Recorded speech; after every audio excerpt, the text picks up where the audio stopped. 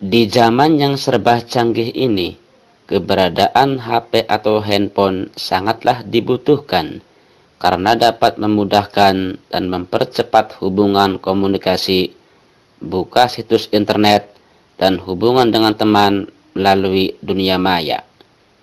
Berikut ini saya akan berbagi pengalaman dan pengetahuan bagaimana cara merawat HP atau handphone supaya baterai pada HP tidak cepat habis atau lowbat. Tips cara merawat baterai HP agar tidak cepat lowbat atau ngedrop. Usahakan ketika mengecas HP jangan sambil tidur karena nanti tidur beneran.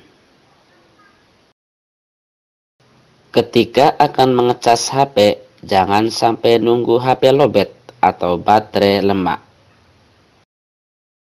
Jangan memainkan HP atau handphone sambil ngecas, karena berakibat HP atau handphone cepat panas dan baterai pada HP cepat lowbat. Ketika baterai pada HP atau handphone sudah 25 atau 30%, maka segeralah dicas. Dan ketika sudah mencapai 90 atau 95%, maka segeralah cabut casan pada HP. Jangan sampai nunggu 100% karena berakibat baterai pada HP cepat lowbat atau lemah. Sekian tips cara merawat HP atau baterai HP supaya tidak cepat rusak dan ngedrop. Semoga bermanfaat.